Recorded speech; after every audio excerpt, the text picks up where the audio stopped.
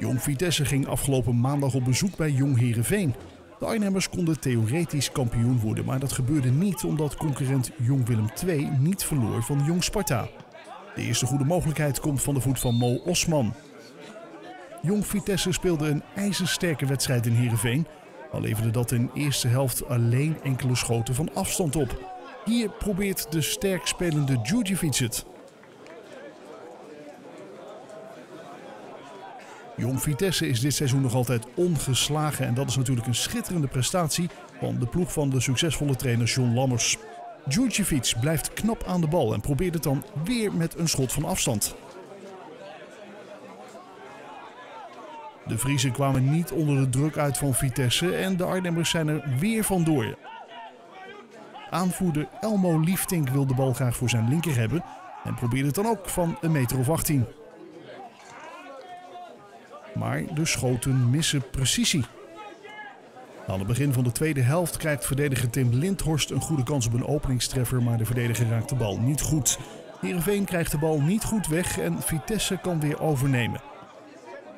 Lindhorst staat nog altijd in de 16 en hij schiet de bal tegen een arm aan van een Heerenveen-speler. Penalty voor Jong Vitesse. Chino Bos, de vaste nemer, meldt zich dan achter de bal. Maar dit keer mist hij en zo blijft het 0 tegen 0.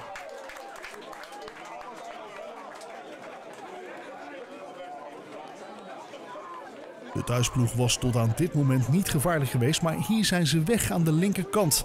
In het centrum kiest Spits van Amersfoort positie. Hij gaat naar de eerste paal, daar komt de voorzet ook. En dan is het 1-0 voor Heerenveen.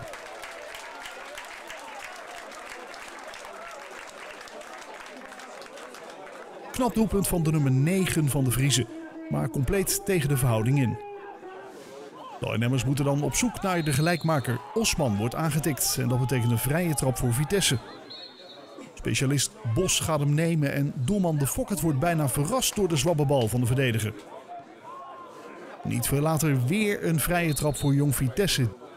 Martijn de Cler geeft de bal voor, iedereen gaat er onderdoor en dan verdwijnt de bal achter de doellijn in de bovenhoek. Een beetje mazzel, maar het doelpunt is meer dan verdiend te noemen. En zo speelt Jong Vitesse met 1-1 gelijk tegen Heerenveen. En kunnen de Arnhemmers op 20 april op Papendal tegen Jong AZ algeheel kampioen worden van Nederland.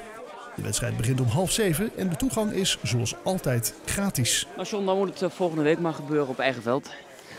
Ja, aan de ene kant is dat leuk. Aan de andere kant, als je kampioen bent, ben je kampioen. Dus uh, het gaat niet over één wedstrijd. Dus het is jammer dat, uh, dat Willem II in de laatste minuut uh, nog scoort. Maar ik heb er mij eigenlijk heel de wedstrijd niet mee bezig gehouden. Ik hoorde het, ik hoorde het net pas. je bent bezig met je eigen wedstrijd te winnen. Ehm, ik denk dat we dat de eerste helft duidelijk hebben laten zien. Domineerden we zonder echt grote kansen te krijgen. De tweede helft was er meer strijd. Maar moet je eigenlijk op voorsprong komen door die penalty die we normaal gesproken altijd benutten. En dan denk ik dat de wedstrijd gelopen is. Nou, dat gebeurt niet.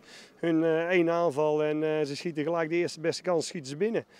Dat is jammer. Maar ik moet zeggen, die jongens rechten hun rug en die hebben alles gegeven om, om toch een punt en, en eigenlijk drie punten nog uit te slepen. Maar als je dan mag kiezen uit kampioen worden of thuis? Nee, dan word je het liefst thuis kampioen. Nee, zonder uh, staat uh, buiten kijf. Ik hoop dat volgende, volgende week gewoon de tribunes heel goed vol zitten.